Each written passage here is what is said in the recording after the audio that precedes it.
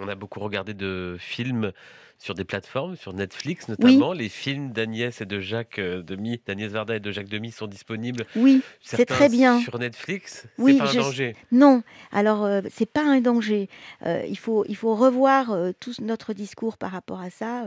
Je travaille, avec MK2, heu, vous savez, avec Nathanaël et Elisha Karmitz, et on est moi, je suis pour que les films aillent sur les plateformes. C'est comme ça qu'on a aura une audience avec des spectateurs qui n'iront peut-être pas en salle de cinéma pour voir des vieux films, comme on dit.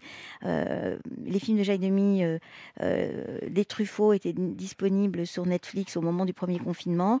Moi, j'ai eu plein de messages sur les réseaux sociaux d'anonymes que je connaissais pas, qui ont découvert les films de Demy. Agnès était sur Amazon. Il faut tout faire pour que les films soient vus.